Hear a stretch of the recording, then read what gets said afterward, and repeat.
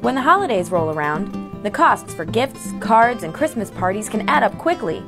We've got some great tips to help you save money and enjoy this special time of year with your family. Brown paper bag gift wrap. On your next trip to the grocery store, choose paper over plastic.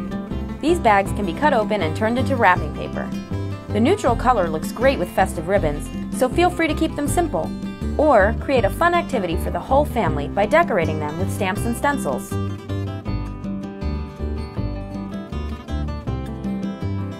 Happy holidays from FamilyShare! For more practical tips for you and your family throughout the year, visit FamilyShare.com.